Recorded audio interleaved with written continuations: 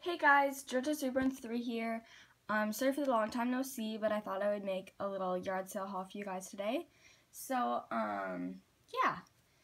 So let's get started. So, the first things I got at, um, I went to like about five yard sales, and they were all in this little neighborhood. They were really nice sales. And I got a lot of nice stuff for myself and for the babies. And I went with my mom, so she got some nice stuff too. But yeah, so I got these cute little slippers and they're newborn and they fit Evie like perfectly. They're really soft and they have the cute little flowers. And then I got Simon these two um, socks. One's gray and one's blue and they're just like really adorable little socks. And they're like really tiny. Like compared to my like fingers guys, they're super small. They're super cute too. So yeah. And then um I got these two outfits and I already washed them and put them on hangers, so that's why they're like on hangers, obviously. But um, yeah, I got these. Oops, I tipped over the other thing. I got these adorable overalls.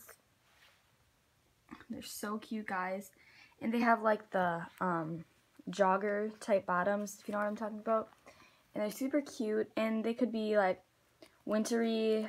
They could you could really wear them anytime, summer, winter, fall, spring you just want to wear like a long sleeve onesie underneath if it was cold out. And then I also got this adorable newborn Gap um, like wetsuit, like swimsuit type thing.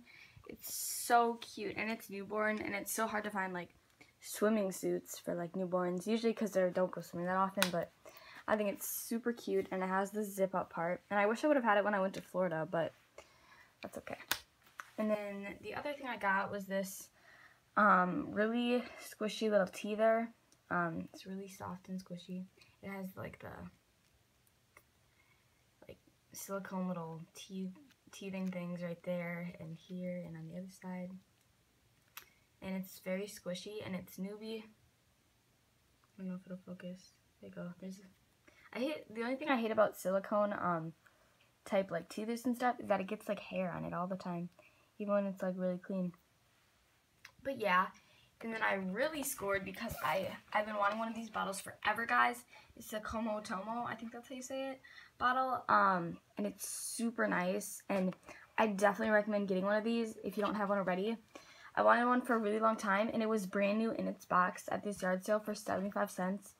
And that is such a steal, guys. I mean, like, they're really expensive. Like, I think they're, like, at least $20 in stores and it's the nicest bottle ever, guys. It has a really nice cap, um, and the nipple is like so like soft and like it pushes down really nice, which is obviously what you do with a reborn. Um, and also for a silicone, it has a very it's like pretty short. It's not a very long nipple, and and it would work perfect for a silicone too.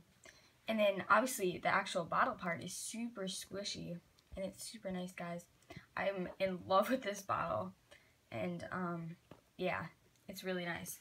And, like, it doesn't, like, when you have it in the diaper bag or whatever, or you're carrying it around, it doesn't, like, dent in. Like, um, like, you'd think it would be, like, when you put it in your diaper bag, it would dent, and then it would, like, squeeze the milk out. Obviously, that isn't necessarily a problem since, um, we're, we're, well, I haven't sealed this one yet, but I'm going to seal it, but, um, like, it's harder, but still squishy right there, and then it's super squishy down here, so it still keeps its form really nice. And yeah, I, I really love that bottle. So yeah, that is all for my haul, guys, and stay tuned for my Reborn Hacks video.